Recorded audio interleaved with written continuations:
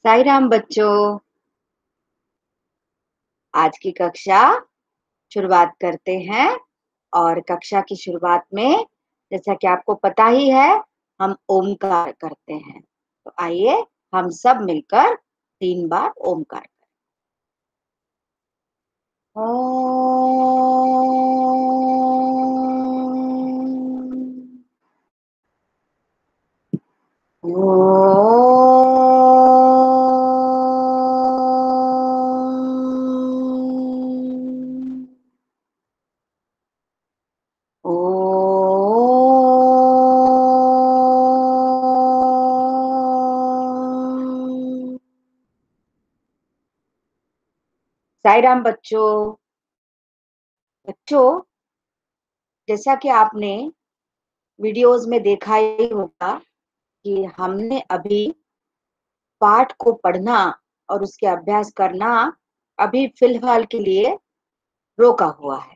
और हम ज़रूरी व्याकरण जो है, आपके लिए हिंदी में जो ज़रूरी व्याकरण है, हम वो पढ़ रहे हैं। तो आज हम उसी के अंतर्गत एक बहुत ज़रूरी विषय व्याकरण के अंतर्गत लेंगे, वो है सर्वनाम। कल के वीडियो में हमने संज्ञा पढ़ी थी, आज के वीडियो में हम सर्वनाम पढ़ेंगे, जो कि संज्ञा से संबंधित ही रहता है। संज्ञा और सर्वनाम ये आपस में जुड़े हुए रहते हैं। ठीक है बच्चों? तो आज हम सर्वनाम पढ़ते हैं। और सर्वनाम को आपको पढ़ाने के लिए मैं आपके साथ अपनी स्क्रीन शेयर कर रही हूँ।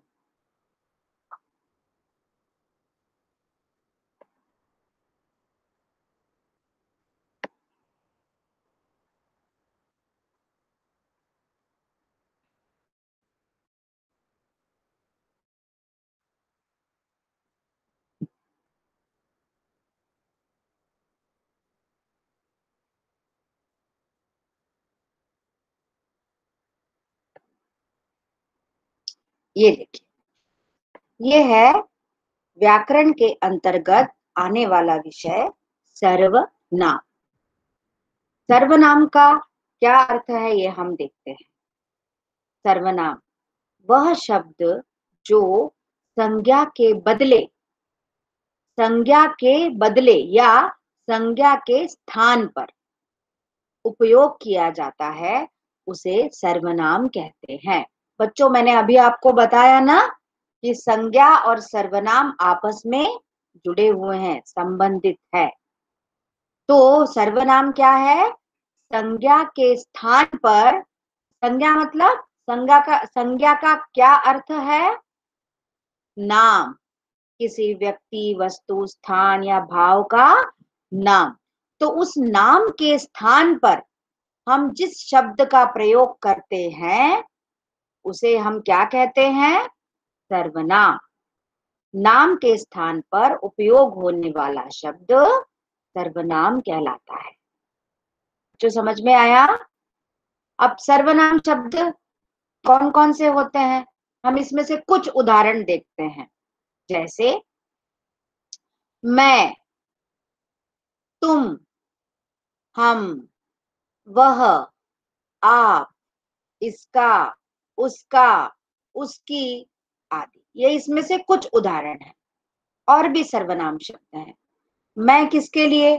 क्या हम लिखते समय अपना नाम या अपना नाम का उच्चारण करेंगे? नहीं। हम अपने नाम के स्थान पर क्या कहेंगे? मैं। कहेंगे ना? हम ऐसा तो नहीं, जैसे मेरा नाम है प्रवीणा, है ना? तो मैं ऐसा तो नहीं कहूँगी कि प्रवीणा बाज़ार गई।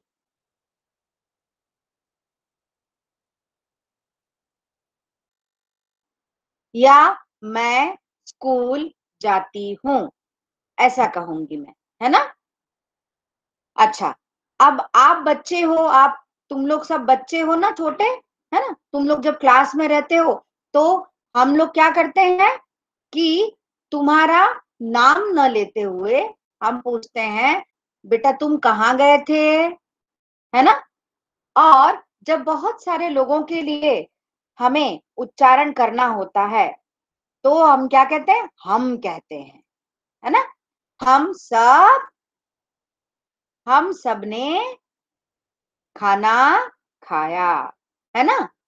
अब कोई और अगर शब्द हो, कोई और अगर दूसरे, तीसरे इस व्यक्ति के लिए या वस्तु के लिए हमें बोलना है तो हम वह का प्रयोग करते हैं। वह पेड़ या वह मैदान वह शहर, है ना? और हमें अगर किसी को सम्मान देना होता है तो हम, मैं, तुम, हम की जगह आप का उपयोग करते हैं। कभी हम नाम के स्थान पर इसका कहते हैं, इसका या उसकी या उसका, है ना? इस तरह हम सर्वनाम शब्दों का उपयोग करते हैं। जो सर्वनाम शब्द दो शब्दों के योग से बना है। है ना बच्चों? पहला है सर्व, दूसरा है नाम। अर्थात जो नाम के स्थान पर सर्वथा उपयोग किया जाए, वह सर्वनाम होता है। जैसे मैं, तू, वह, मैंने, आप, यह, वह, कोई, कुछ, जो, सो, कौन, तुम, तुम्हारा, मेरा, इसका, उसका, किसका। ऐसे अनेक सर्वनाम के उदाहरण है बच्चों। ठीक है? आशा है आपको इतना समझ में आया होगा। आगे देखते हैं। ये एक सर्वनाम का उदाहरण है। जैसे हमने राम के विषय में, राम एक लड़का है मतलब एक लड़का है जो स्कूल में पढ़ता है, उसका नाम है राम। हमने उसके विषय में कुछ वाक्य लिखे हैं। देखिए, राम दूसरी कक्षा में पढ़ता है। राम स्कूल जा रहा है। राम के पिताजी पुलिस हैं। राम की माताजी डॉक्टर हैं। राम की बहन खाना बना रही हैं। ऊपर लिखे वाक्यों में राम नाम अर्थात संज्ञा है। बच्चों, समझ में आया? राम एक नाम है, एक लड़के का नाम है है ना? तो नाम क्या है? संज्ञा। राम जो है, वो संज्ञा है। संज्ञा का प्रयोग बार बार हुआ है।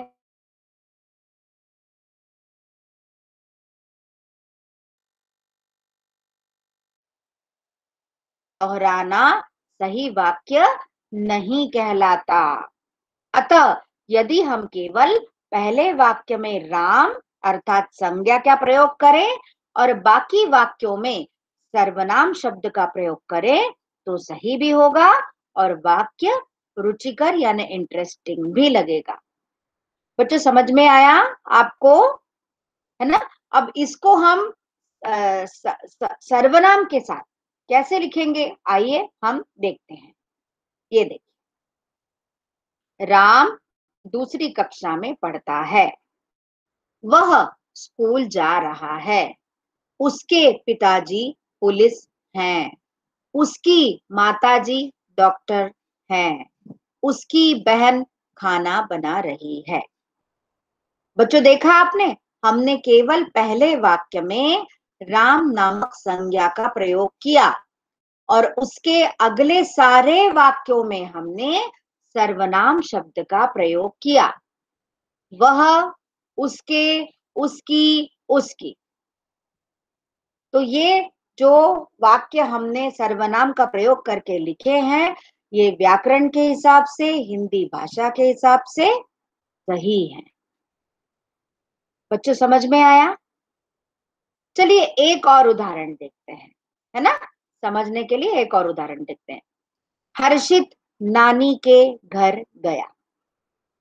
बच्चों, आप सब भी नानी के घर जाते हैं ना, गर्मी की छुट्टियों में? या सर्दी की छुट्टियाँ लगती है, तब नानी के घर जाते हो, है ना? बड़ा मज़ा आता है। हर्षित के नानी के घर हर्षित के मामा मामी भी रहते हैं। हर्षित के मामा हर्षित को पार्क में ले गए। हर्षित ने पार्क में झूला झूला। बच्चों, ये पाँच वाक्य हैं। हमने हर वाक्य का आरंभ हर्षित के नाम से किया है। अब आप बताइए, हर्षित क्या है? संज्ञा, क्योंकि वो एक लड़के का, एक बच्चे का नाम है।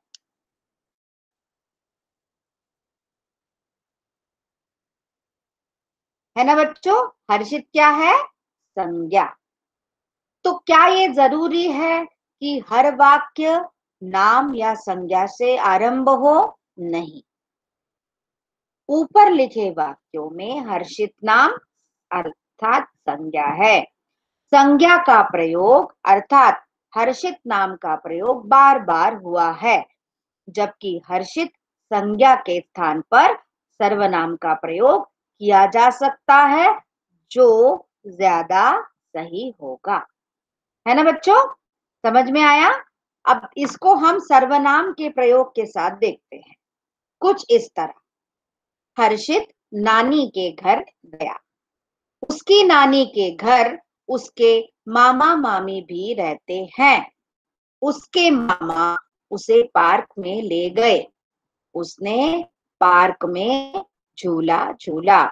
वह खुशी खुशी अपने मामा के साथ घर लौट आया। है बच्चों, समझ में आया? हमने केवल पहले वाक्य में हर्षित नामक संज्ञा का उपयोग किया है। उसके बाद सारे वाक्यों में हमने संज्ञा की जगह सर्वनाम का प्रयोग किया है। तो ये सर्वनाम शब्द हुए। अब एक अभ्यास मैंने आपके लिए तैयार किया है। इसको आपको हल करना है। देखिए क्या है? आयुष आगरा गया था। आयुष ने आगरा में ताजमहल देखा। आयुष को ताजमहल देखकर बहुत आश्चर्य हुआ।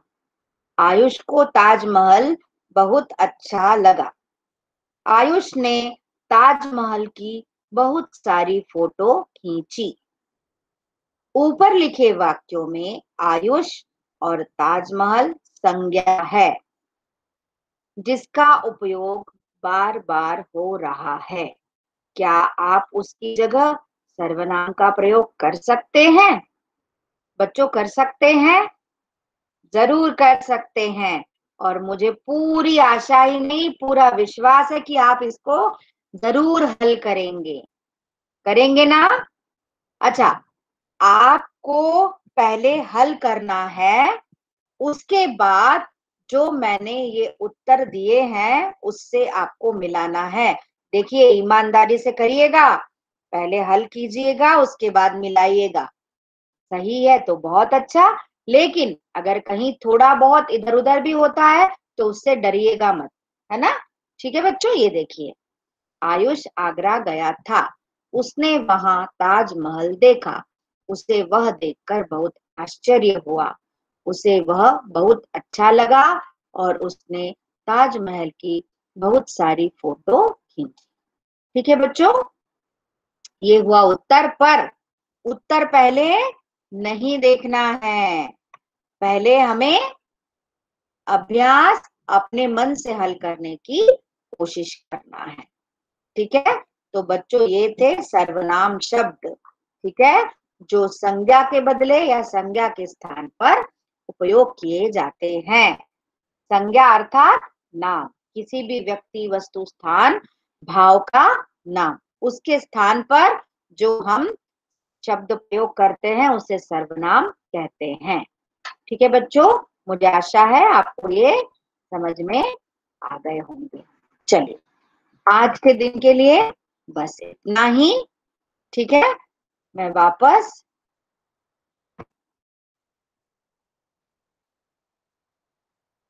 आती हूँ। ये मैं वापस आ गई। ठीक है बच्चों? तो इस वीडियो को आप ज़रूर देखिएगा और इसे समझने का प्रयास कीजिएगा, इसे अभ्यास को हल करने का प्रयास कीजिएगा और अगर आपको इस तरह के और अभ्यास मिलते हैं तो उसे भी हल कीजिएगा, आपकी प्रैक्टिस होगी। क्योंकि बच्चों, व्याकरण सीखना बहुत ज़रूरी होता है। किसी भी भाषा का व्याकरण पहले सीखना बहुत ज़रूरी होता है। ठीक है बच्चों? तो आज की कक्षा में इतना ही। आज की कक्षा को हम विराम देते हैं और कक्षा का समापन हम शांति पाठ से करते हैं। ओम शांति शांति शांति साई राम बच्चों बाय बाय कल फिर मिलेंगे।